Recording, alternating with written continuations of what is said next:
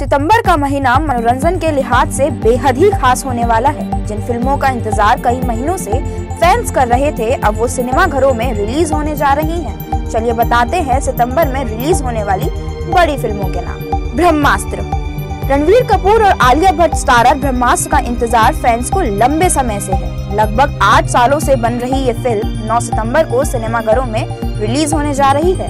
Reports की माने तो ये फ़िल्म बॉलीवुड की अब तक की सबसे महँगी फ़िल्मों में से एक है, जो ग्राफिक्स के ज़रिए एक अनूठी दुनिया का आपको एहसास कराएगी।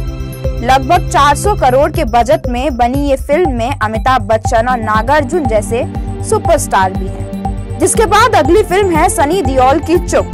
सनी दियोल लंबे समय के बाद बड़े पर्दे पर फिर से वापसी करने जा रहे हैं। तेईस सितंबर को ये फ़िल्म रिलीज़ होगी, जिसमें सनी के साथ दलकीर सलमान, पूजा भट्ट भी अहम किरदारों में है। इस रोमांटिक साइको थ्रिलर फ़िल्म के ट्रेलर रिलीज़ डेट का भी खुलासा कर दिया गया है। लगभग 60 करोड़ के बजट में बनी फ़िल्म चुप का ट्रेलर 5 सितंबर को रिलीज़ किया जाएगा और ये फ़िल्म 23 सितंबर को रिलीज़ होगी। जिसके बाद अगली फ़िल्म है विक्रम वेदा।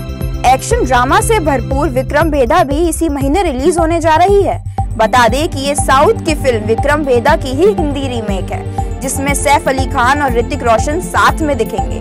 175 करोड़ के बजट में बनी ये फ़िल्म 30 सितंबर को रिलीज़ होगी, जिसके बाद अगली फ़िल्म है पॉनियन सेल्वम देश भर में इन दिनों साउथ फ़िल्मों की लोकप्रियता लगातार बढ़ती जा रही है। Most awaited film Ponniyin Selvan भी 30 सितंबर को रिलीज़ होने जा रही है, जिसमें ऐश्वर्या राय भी कई सालों के बाद बड़े पर्दे पर दिखेंगी। 500 करोड़ के बजट में बनी इस फ़िल्म को कई भाषाओं में रिलीज़ किया जाएगा। ये चौल साम्राज्य के राजा की कहानी है। अक्षय कुमार की कठपुतली रिलीज़ हो चुकी है। हिट मशीन कहे जाने वाले अक्षय कुमार के लिए साल वैसे तो बेहद ही ठंडा साबित हुआ है। तीन फ्लॉप फ़िल्मों के बाद अक्षय कुमार की चौथी फ़िल्म कठपुतली 2 सितंबर को रिलीज़ हो चुकी है। फ़िल्म देखने के लिए आपको घर से निकलना तक नहीं पड़ेगा, क्योंकि ये फ़िल्म डिज्नी प्लस हॉटस्टार पर रिलीज़ हुई है।